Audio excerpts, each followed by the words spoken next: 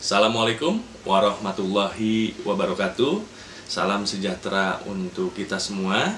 Yang saya hormati Bapak Rektor Universitas Sultan Ageng Tirtayasa, Bapak Profesor Dr. Haji Fatah Sulaiman STNT.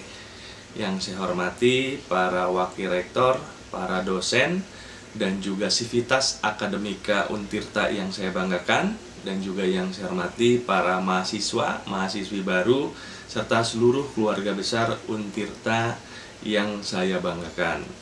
Pertama, bersyukur kepada Allah Subhanahu wa taala, Tuhan yang Maha Kuasa. Alhamdulillah pada hari ini kita dapat tadi melaksanakan program pengenalan kehidupan kampus bagi mahasiswa baru atau PKKMB Universitas Sultan Ageng Tirtayasa tahun 2021. Ini merupakan langkah awal untuk mengembangkan khususnya diri dalam menjadi mahasiswa yang berkarakter, cerdas, memiliki semangat tinggi untuk menyongsong Indonesia tangguh, Indonesia tumbuh. Sivitas Kampus Untirta yang saya banggakan, kita ketahui bersama di masa pandemi COVID-19 saat ini, capaian pembangunan daerah mengalami perlambatan pertumbuhan, bahkan mengalami pertumbuhan negatif atau minus. Laju pertumbuhan ekonomi Banten tahun 2020 ini turun menjadi minus 3,38 persen dibanding capaian tahun 2019 yang tumbuh sebesar 5,29 persen. Angka kemiskinan di Provinsi Banten yang telah berhasil ditekan mencapai 4,94 persen pada September 2019 ini kembali meningkat mencapai 6,66 persen pada Maret 2020. Demikian juga angka tingkat pengangguran terbuka atau TPT di Provinsi Banten pada Agustus 2020 ini mencapai 10,64 persen yang berarti meningkat juga yaitu menjadi 2,53% persen peningkatan poinnya dibandingkan dengan bulan Agustus 2019. Demikian juga capaian indikator pembangunan manusia atau IPM tahun 2020 ini juga mengalami perlambatan. Ditandai oleh pertumbuhan IPM sebesar 0,01 persen ini lebih rendah dari pertumbuhan tahun 2019 yang mencapai 0,68 persen. Untuk mengoptimalkan capaian indikator makro pembangunan tersebut, diperlukan sinergitas dan kolaborasi seluruh pemangku kepentingan, khususnya pemerintah Provinsi Banten dengan pemerintah Kabupaten Kota seprovinsi Banten khususnya di mana serta dukungan dari seluruh sektor industri dan juga perguruan tinggi. Untuk itu, pada kesempatan ini saya juga berharap kepada kita semua, khususnya segenap Sivitas Akademik Untirta, ini dapat mengembangkan kemitraan antara pemerintah daerah, industri, dan juga perguruan tinggi, khususnya dalam mengembangkan program padat karya, seperti program Link and Match serta social innovation yang dapat berkontribusi terhadap peningkatan capaian indikator makro pembangunan di Provinsi Banten.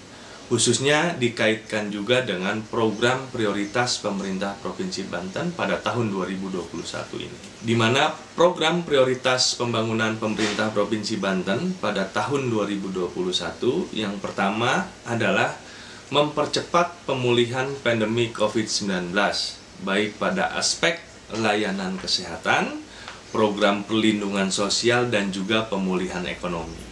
Yang kedua adalah meningkatkan kualitas sumber daya manusia, khususnya melalui peningkatan aksesabilitas pendidikan. Yang ketiga adalah memperkuat infrastruktur untuk interkonektivitas wilayah dan juga daya saing daerah, khususnya dalam pembangunan infrastruktur strategis yang dapat tadi membuka disparitas wilayah yang ada di Provinsi Banten. Yang keempat, memacu pertumbuhan ekonomi melalui pengembangan sektor-sektor unggulan. Dan yang kelima adalah memperkuat tata kelola pemerintahan yang baik. Sivitas Kampus Untirta yang saya banggakan, perguruan tinggi setidaknya dapat memerankan tiga dari 12 pilar penilaian indeks daya saing seperti yang ditetapkan oleh World Economic Forum di mana ketiga pilar tersebut yaitu yang pertama adalah pendidikan tinggi, yang kedua adalah pelatihan, yang ketiga adalah kesiapan teknologi dan inovasi. Untuk itu, pada kesempatan ini saya berharap PKKMB Untirta tahun 2021 ini juga dapat mensyaratkan nilai tentang sistem pendidikan yang dapat menumbuh kembangkan budaya inovasi dengan tetap memperhatikan kearifan dan budaya daerah sebagai identitas kultur, sebagai landasan kreativitas dan juga budaya inovasi. Di mana pada saat ini karakter mahasiswa yang dibutuhkan bukan sekadar mahasiswa yang unggul dalam sisi akademik semata, di mana kependidikan di kampus jangan hanya juga terfokus pada aspek-aspek nilai formal semata, melainkan juga harus memiliki nilai-nilai dan upaya pembentukan kemampuan ketahanan pribadi atau resiliensi sebagai daya tahan dan daya tangkap mahasiswa dalam menghadapi tantangan global ini. Hal tersebut dapat dibentuk melalui peningkatan religiusitas, optimisme, tindakan-tindakan produktif, serta ketegunan dalam menjalankan suatu bidang keahlian tertentu melalui program Kampus Merdeka. Semoga tertuju pada harapan kita semua bagaimana dapat menjadikan mahasiswa sebagai generasi pemimpin, mahasiswa sebagai agen perubahan, dan juga mahasiswa sebagai kader pembangunan.